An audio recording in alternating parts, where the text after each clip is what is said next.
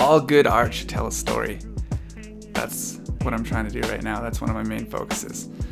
There's colors, there's your composition, there's variables, primary, secondary, background, all this bullshit, but if it doesn't tell a story, what's the point?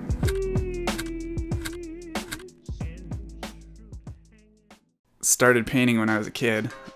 It's not like one of those crazy stories where you're like, oh, like one day in art class, I just decided to take it next level. I went to Michael's and spent the rest of my student loan on canvases. I was like, growing up, my mom was a elementary school teacher. After after school, it was arts and crafts time all the time.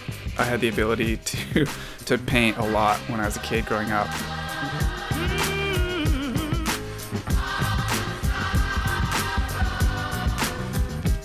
Wolf, obviously in peach. He's howling. Woo! Clouds into the sky. The eagle. Eagle's name, nobody knows. Wolf's name, nobody knows. That's it. The challenge was to make the peach work, to make something fun and enjoyable. Everybody of all ages are gonna see this thing because it's gonna be out front center Lululemon. Whistler is amazing because you make friends with cool people and then opportunities come because everybody's so busy. A lot of the time, the only time you can hang out with those friends is if you're working with them or collaborating.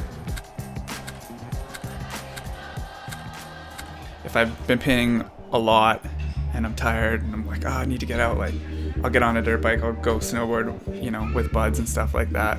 And we'll have a good time and then I'll come back and then that's when I'll feel fresh again. So that's what I get from from the mountains and that part is priceless.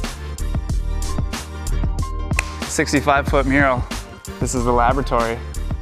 This whole thing is meant to go in a warehouse down in North Vancouver probably gonna be about 40, 50 foot high ceilings. So this thing is gonna shrink really fast. So we're trying to make it as big as we can. This is gonna be viewed from afar. So uh, we want it to be as bright and vibrant as we can get it.